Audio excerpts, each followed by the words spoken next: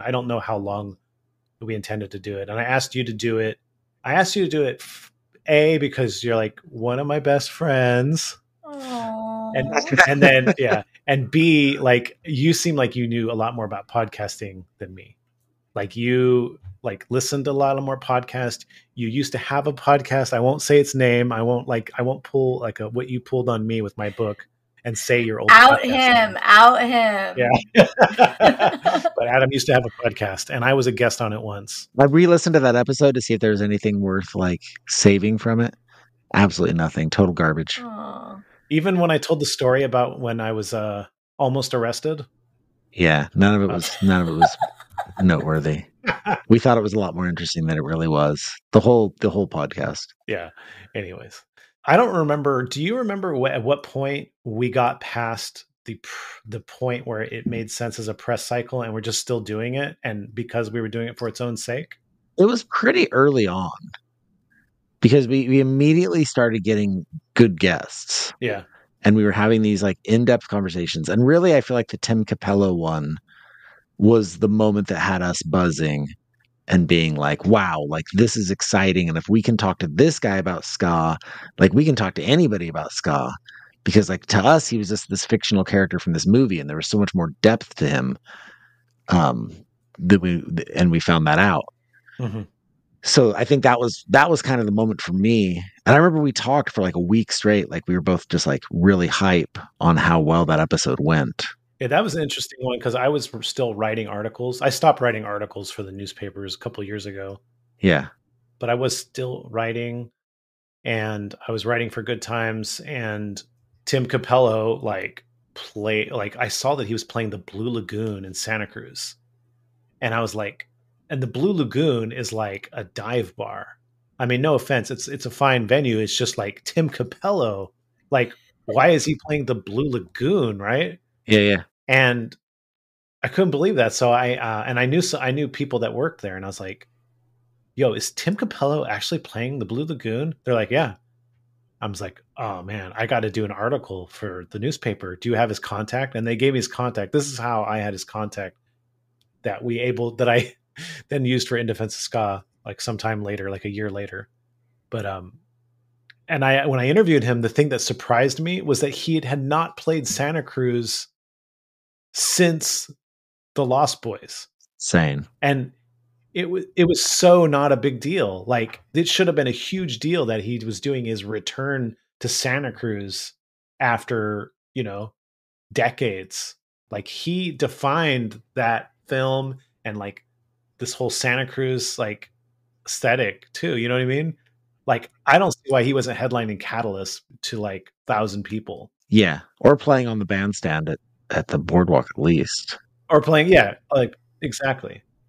And and I interviewed him, and you know when you do an article, when, so when you're writing for like the newspaper, and it's like a one page, like 750 word article, 20 to 30 minutes is fine. You're going to get enough quotes, right? Him and I talked for like an hour. Yeah. And he told me so many stories that I couldn't use in the article because it just it was just too much of a tangent. And I was like, "Oh my god.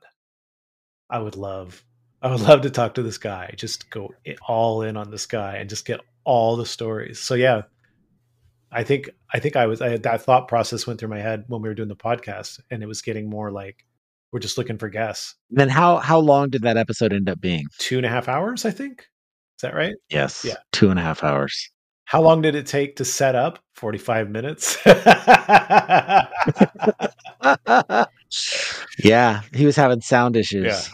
We had to work him through that. I was glad he didn't give up. I was afraid he was going to rage quit, and he didn't. When I, I, I pitched it, I pitched it to him, you know, because I hey, this Aaron. I interviewed you like a year ago for Good Times. I said I have this podcast, ska podcast. Would you like to do it? He's like, I don't know. I don't really know anything about ska. I was like, it's it's fine. We don't even need to talk about ska. We could. I just want to hear your stories. He's like, okay, cool. And then he comes on and he has like an encyclopedia knowledge of like Jamaican ska. yeah, it's like, yeah, you don't know anything about ska at all, right? Maybe he studied. The other fun part was we reached out to all these ska musicians and got oh yeah, like a bunch of sax players and got and they all knew who he was, yeah, of course. Yeah And so they all had like very specific questions for him. Yeah, And that was really fun. that was that was a good. We, we hadn't really done many bits like that before. Right? In our early years, we did we did try like some random things like that that we haven't since really replicated. Yeah. You know, you're figuring things out.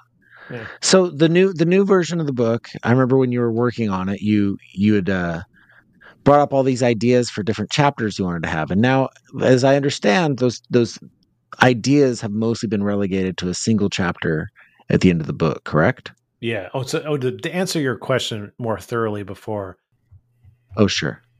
Doing the podcast has affected the the second edition in that it's been expanding my own knowledge of the topic.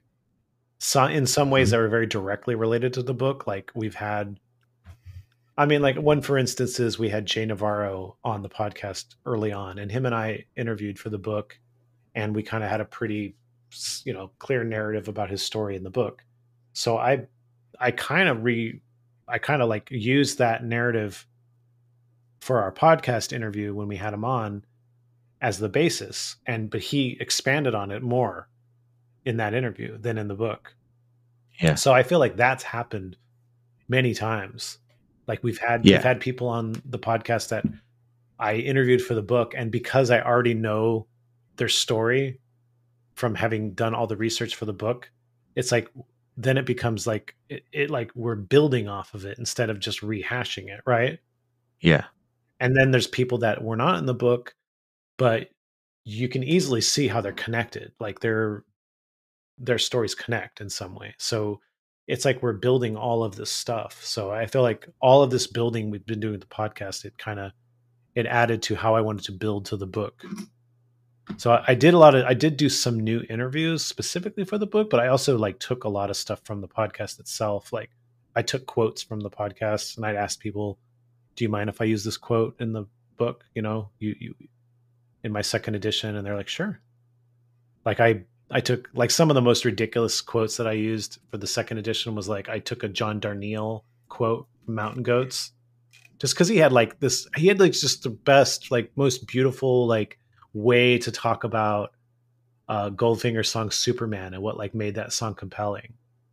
And I thought I'm just I like I'm gonna put this in here. I'm just gonna like let him say what's great about this song because like who would why would anyone writing a ska book be like I'm gonna throw it to John Gar- John Darnielle. Let him explain the song. It's just I would never reach out to John Darnielle specifically for that. That makes no sense. But Right. Because of the podcast, you had that. yeah, and there was another one I had where um, we did an episode with Kyle Kinane, the comedian, and that dude like grew up in um, Chicago suburbs, and he went to punk and ska shows, and so of course he went to Fireside Bowl all the time. And I, I kind of didn't have anything on Fireside Bowl the first edition, but I definitely like corrected that in the second edition. I had a whole whole section where I talk talk about slapstick story because it, it's- it relates, and I talk about Fireside Bowl, and so he has a, I'd used one of his quotes about Fireside Bowl. It's mo- mostly him just making a joke about how there's no stage, there's no separator, and because of that, uh, he always used to worry like a mom about someone, someone like a horn player, like hurting their teeth or something. It's basically a whole bit about that. It was really funny. Like we we all like kind of like went on for like 15 minutes on that episode about like the dangers of being a horn player in a ska punk band Teeth. which yeah.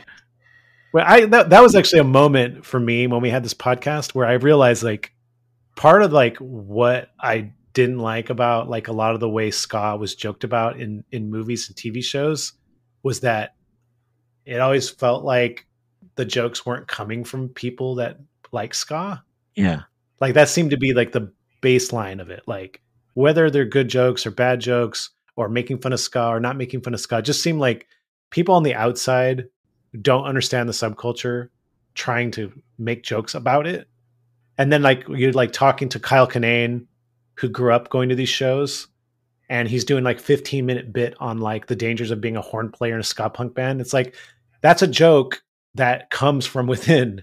Like you don't make that joke unless you come from that subculture. You don't understand like yeah you're playing these punk shows and horn players are full on trombone saxophones with reeds in their mouth like while kids are moshing around like that's a very specific aspect to the subculture. Yep.